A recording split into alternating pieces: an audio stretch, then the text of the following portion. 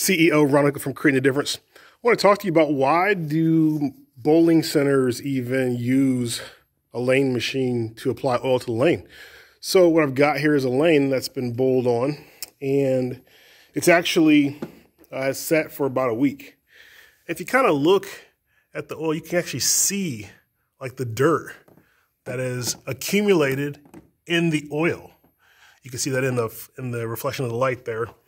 But the dirt, the debris, it just kind of accumulates over time um, if you don't keep the lanes clean. Now, we have a league in here that bowls once a week, and the lanes have not been cleaned since that league bowled. So the lanes are fairly dirty. Now, here's the other thing. So the reason why there's oil on the lane in the first place is because the oil is a protectant to stop the lane, the physical lane, from getting tore up. So typically, uh, oil is applied to the first uh, 30 to 40 feet, more than likely, and then it kind of dissipates. And you can kind of see, if you look at the reflection, you can see the reflection is not as good there. And as soon as we get to right about here, it's very good, which is showing you the oil is in this area, not so much in this area. And the reason being for that is because as you get toward the end of the pattern, you want the lane to be kind of dry to give you some performance. Uh, your bowling ball to hook, and you want that hook to be able to get your bowling ball uh, to hopefully get to the pocket.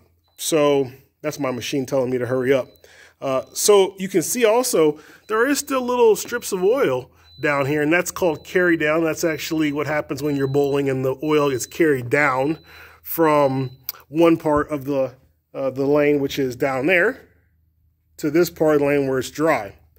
And that's the reason why it's important uh, that bowling centers clean the lanes. You, know, you don't want to have this stuff just kind of hanging out on your lane uh, in little spots, the spots and, and parts because that ultimately will make the lane uh, inconsistent and a little bit tougher to bowl on over time. Plus, you're also depleting that oil from where it's needed most, which is down there at the beginning. So what you do is you get you a nice, uh, expensive, these machines range anywhere from about twenty to $30,000 and you actually get you a lane machine and you use a lane machine to apply, to remove the old oil and to apply new oil when needed. So that's what I'm going to do. I'm going to get this machine actually ready uh, for league for tonight.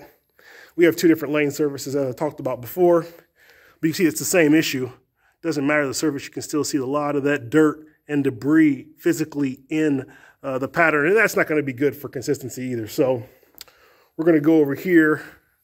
We're going to go ahead and get our, our lane ready uh, for the league tonight. We're actually going to bowl on a pattern called Wall Street version 2 and we're going to strip and re-oil the lane, both. So we'll go ahead and hit the start machine, which will get the pump going. And see the pump begin to put, get up to its pressure like it's supposed to. We'll actually get the lane machine physically on the lane. Like so. And then we will allow it to go down the lane. And what it's gonna do is it's gonna strip and oil at the same time. So we're actually going to be able to see. You can look at look at this now. Look how crisp and pristine the lane condition is um, as it's being applied. So it's doing both. It's actually going to strip off the bad parts and it's going to apply some fresh oil.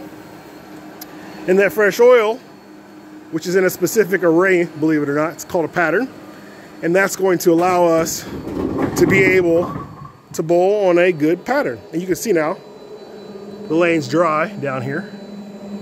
Whereas before it wasn't dry, now it's dry, which is what you want. None of that carry down, that's all been removed. And the lane machine will come back to where it started. And we'll go to the next lane and oil it. But that's what's happening. And we're actually putting oil on the way up and on the way back, both.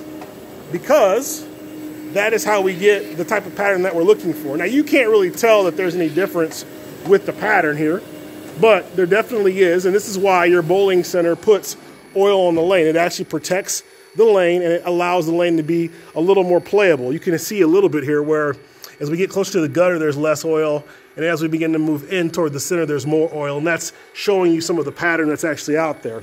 And that's what we use to be able to, when you miss to the outside portion, there's less oil, more friction, ball hooks more to be able to come back to the pocket. And when you miss in the middle, where there's a lot of oil, the ball goes longer and goes straighter, which allows it to also hit the pocket. So now you have a little bit more information about why the bowling center oils the lane, and you can tell the difference between a lane that has been freshly oiled and a lane that hasn't been oiled.